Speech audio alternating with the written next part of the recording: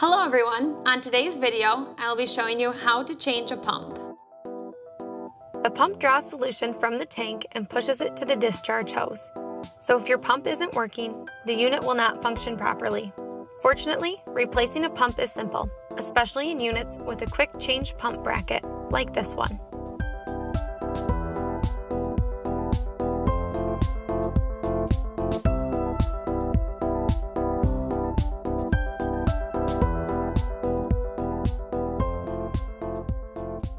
With a quick change pump bracket, no tools are required, although a flathead screwdriver may come in handy.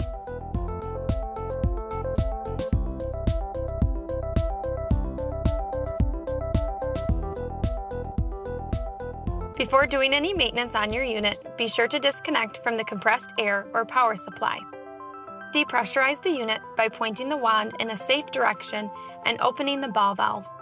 Then close the valve at the base of the suction line to shut off the flow of liquid. Open the unit back plate. Lift the wire bracket to release the pump. On the underside of the pump, there are three hose barb connections. Each hose barb is held in place by a clip. Slide the tab on the clip away from the hose to release each hose barb. You may want to use a flathead screwdriver, especially for the smallest tab. After releasing the clips, the barb should pull out easily. If one seems stuck, wiggle the clip or try holding it in the open position while you pull on the hose. Your new pump will include new hose barbs. Normally it's fine to remove these and just connect the old hose barbs to the new pump. But if you notice a barb is leaking, you may want to replace the old O-rings with the new ones.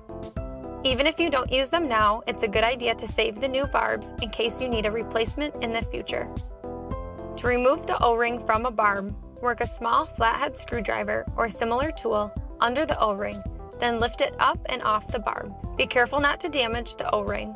Push the new O-ring down over the barb until it's seated in the groove. To install the new pump, connect the hose barbs and secure each one by pushing the tab toward the hose until the clip clicks into place. Make sure to connect the suction and discharge lines to the correct ports. The arrows on the underside of the pump show the flow direction. Seat the pump against the back plate and secure it by pulling the wire bracket down over the top. Finally, close the back plate and make sure the suction line valve is open.